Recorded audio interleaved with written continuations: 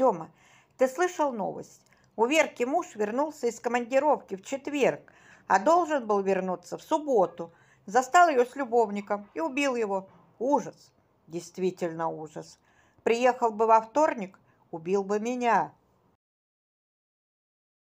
Из советов психолога. Черный кот, перебегающий вам дорогу, означает, что животное куда-то идет. Не усложняйте.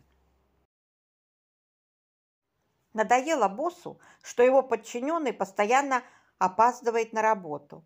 Вызывает к себе, спрашивает. «Скажите, Сидоров, вы служили в армии?» «Служил». «Тогда скажите мне, Сидоров, что говорил вам старшина, когда вы опаздывали в строй?» «Здравия желаю, товарищ лейтенант». «Давай я приеду, и мы поговорим». «Нет уж, мы будем ругаться по СМС, потому что если я тебя увижу, то перестану злиться. Ну что, сын, скоро семьей обзаведешься. Знаешь, в поиске хочу найти такую, как мама. Ты бы, сынок, планку-то понизил. Сейчас таких больше не делают. Модель снята с производства. Комплектующие нынче не те.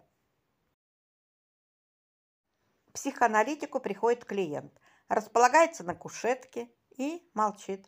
Психоаналитик терпеливо ждет. В абсолютной тишине проходит час. Клиент встает, оставляет 50 баксов и, попрощавшись, уходит. На следующий день картина повторяется. И так несколько раз. Через неделю психоаналитик не выдержал. Может, расскажете, что вас беспокоит? Жена, доктор. Она не замолкает ни на минуту. А у вас здесь хорошо, тихо.